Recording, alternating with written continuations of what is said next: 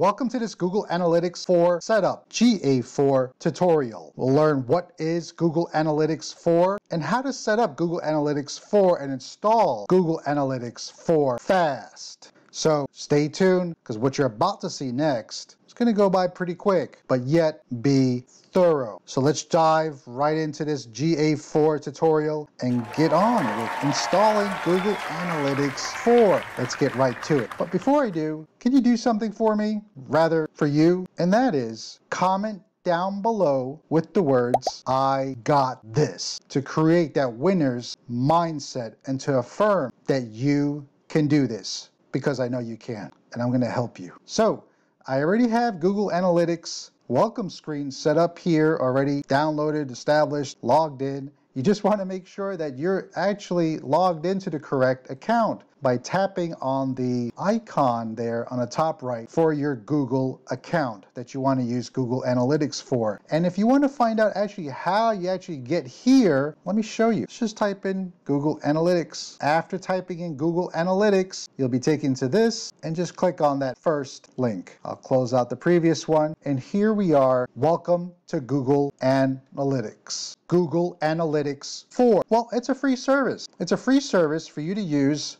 for free thanks to Google. Thank you, Google.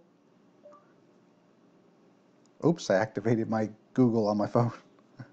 All right, now it's going to allow you to set up your analytics right on your website. So you actually get to see where your website traffic is coming from, what they're doing on your site, how long they're on there for, and so on and so on. So meet the next generation of Google Analytics. Google Analytics 4, formerly known as App plus Web, is a new kind of property with different reports than what you're used to seeing in Universal Analytics properties, which is the original version of it. One advantage of a Google Analytics 4 property is that you can use it for a website, an app, or both a website and app together. Whereas before, Universal Analytics properties could only support websites. And now we're going to get into it next. close this out and here we are. We're going to go ahead and dive right into setting up Google Analytics for our website. And here we go. I'm going to tap on Start Measuring. And here we want to enter a new account name. And then we're going to go ahead and select what we're going to be using here. And in this case, I'm just going to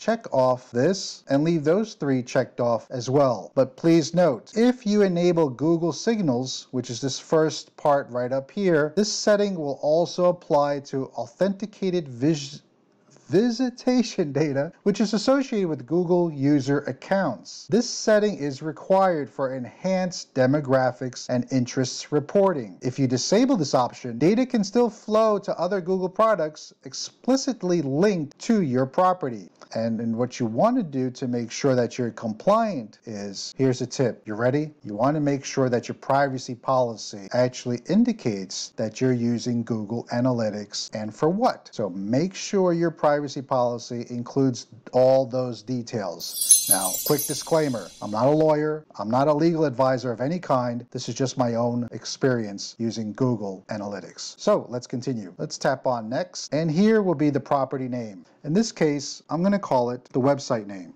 and that is this. And the reporting time zone, I'm going to adjust that to reflect where I am currently, and that's there. Now, if we tapped on Show Advanced Options, you could actually set up your Universal Analytics property just by enabling that tab and filling out that other information right down here below just in case you'd like to have it because some apps do still use that and you could have both Google Analytics 4 and a Universal Analytics property set up at the same time or just set up a Universal Analytics property only. But in this case, for this Google Analytics 4 setup, I'm just going to leave that disabled and tap on Next, business information, industry category. For this tutorial, I'm just going to tap on business and industrial and I'm going to select that. You, however, will want to select what applies to you. And because I'm curious, I'm going to select all these or at least most of them and then create. Now here we're going to be asked to accept the Google Analytics Terms of Service Agreement along with the other legal agreements here. You want to read through them. Again, I'm not a lawyer or legal advisor of any kind, but it's my experience using Google Analytics 4 that you just need to read all this and accept like I'm going to do here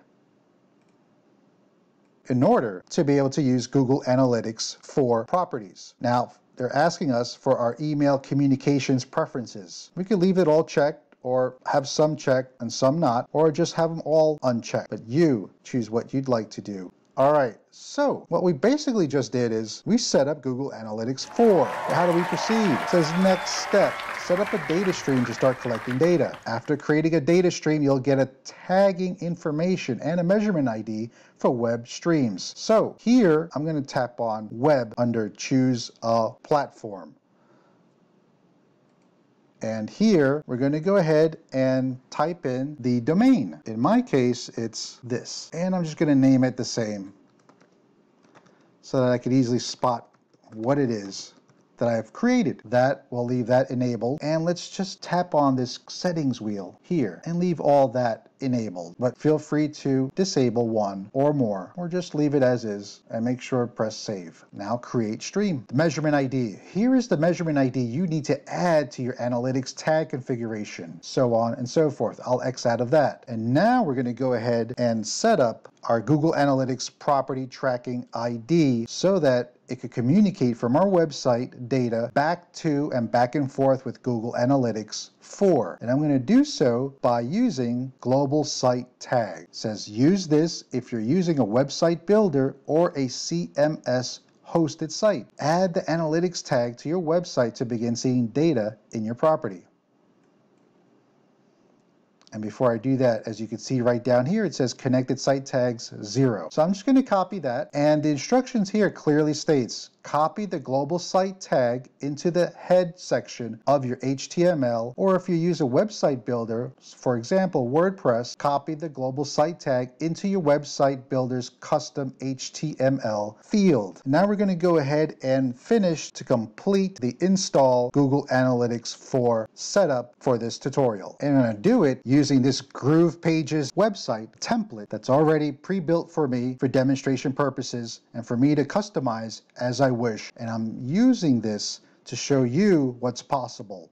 Just in a quick snapshot, just in case you're interested in checking out what Groove can do for you and your business, not just with Groove pages, but with Groove Member, Groove Video, Groove Mail, Groove Webinar, Groove Blog, and so much more. And you know what? Guess what? It's all for free. So I want you to go ahead and check out and grab your free account today at groovepages.io because you never know when you're going to need a new account for free for that next project. So let's go ahead and continue with this Google Analytics 4 setup. And look how easy it is. I'm just going to tap on settings and then site settings. Scroll down here where it says include in the head section here. Type of codes are tracking, GA, which is for Google Analytics.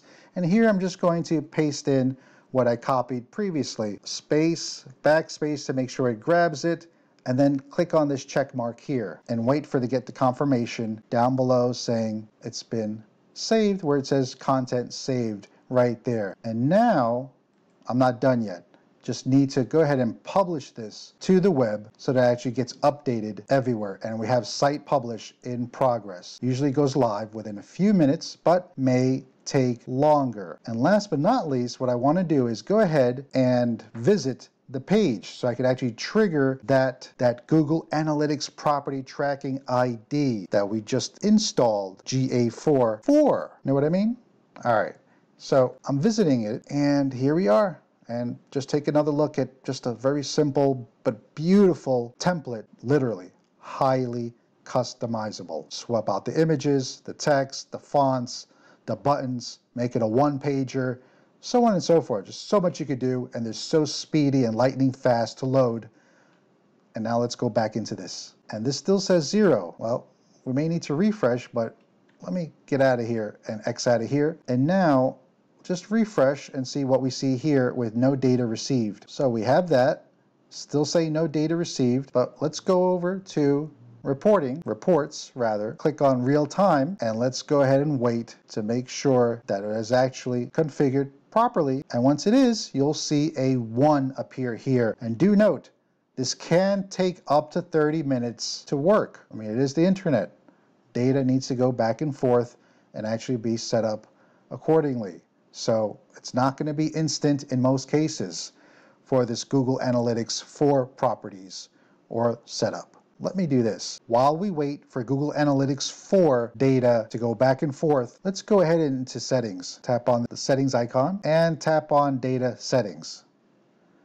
Data collection, get started, continue, activate, I acknowledge. Now remember, I'm not a lawyer or a legal advisor, but this is very clear. I acknowledge that I have the necessary privacy disclosures and rights from my end users for the collection and processing of their data, including the association of such data with the visitation information Google Analytics collects from my site and or app property. And how do you do that? One more time, it's been my personal experience that you take care of that right inside your privacy policy terms and conditions legal pages. So make sure you do that before doing this. And data retention, it's set to two months Let's just set it for 14 months and tap on save. And now go back to reports, real time. Now you know how to set up Google Analytics 4 for your website with this Google Analytics 4 setup tutorial. Now, if this video has been of any use to you or you got anything out of it whatsoever, please make sure to tap thumbs up and hit the like button